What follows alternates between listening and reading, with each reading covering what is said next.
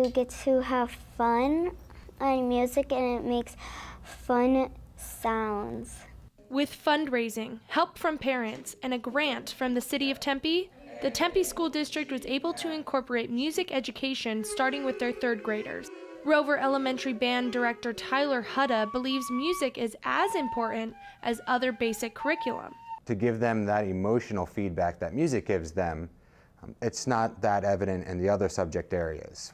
These third graders are getting hands on experience with different instruments twice a week. I think overall, uh, bringing this, bringing band and orchestra to third grade is an excellent decision, and I'm very glad that we were able to fund it.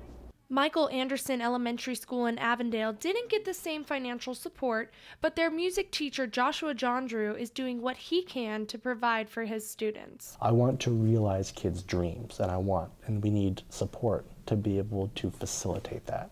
He also feels that the problem might not only be with funding. No one questions that math is important. No one questions that science is important. But you have to debate all the time and you have to change minds as well as hearts when it comes to music for whatever reason.